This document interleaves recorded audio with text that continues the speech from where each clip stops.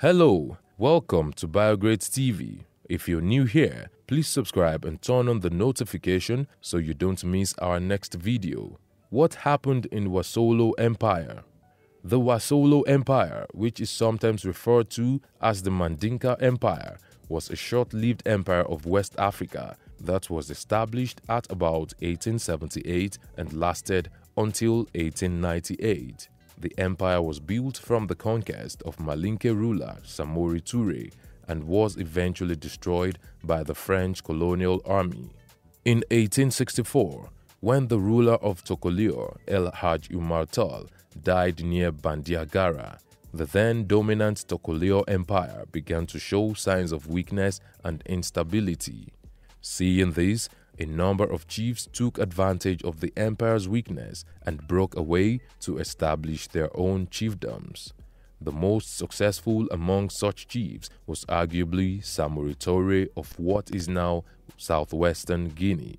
Samori had an army that was very well equipped, boasting of European firearms and a complex structure of permanent units.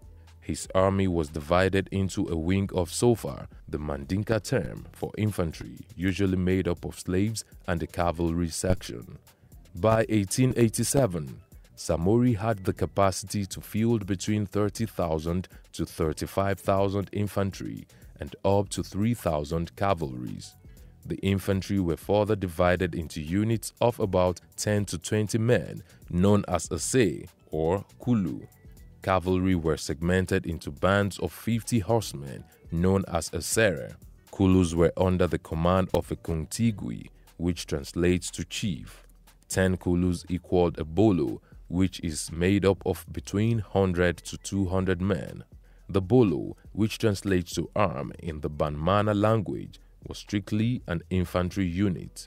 This unit was commanded by the Bolo Kuntigui. Samori's campaign began by sweeping first through neighboring kingdoms, including the Berete and the Sise. After bringing those kingdoms under his rule, he proceeded into the Wassoulou region, which is located around the border of today's Guinea and Mali. In 1876, he took control of the Bure gold mines, and by 1878, his position was secure enough to officially declare himself Fa'ama, meaning military leader of a new Wassoulou empire. Some of his later conquests included Kankan, which was a major Malinke trading center and part of what are now Sierra Leone and northern Cote d'Ivoire. The Mandingo Wars were a series of conflicts that occurred from 1883 to 1898 between the Wassoulou Empire and France. From 1880 until his death, Samori's aspiration was challenged and opposed by the expansion of the French. He fought a number of battles against the colonial army and actually defeated them on several occasions. One notable victory he had over the French was on the 2nd of April 1882. The battle, which was staged at Woyowayanko, saw Samori emerging victorious in spite of the heavy artillery of the French army.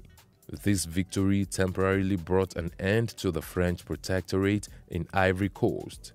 Nonetheless, it was only a matter of time before Samori's fortunes began to downturn. Between 1886 and 1889, he was forced to sign several treaties relinquishing territories to the French. Samori began a steady retreat while trying to hold on to as much of his empire that he could. However, the fall of other resistance armies, especially Babemba Traore at Sikasso, gave the colonial army a big opportunity to launch a concentrated assault against the forces of Samori. Eventually, on the 29th of September 1898, he was captured by the French commandant Gouraud and sent on exile to Gabon, effectively marking the end of the Wassoulou Empire. The empire had survived for only about 20 years. By the end of the conflict, both the French and the Wassoulou side had suffered heavy casualties in loss of lives. What have we missed out of this history? Let's know in the comment section. Will it be ridiculous to subscribe to our channel? If no, please like this video, share and subscribe to our channel.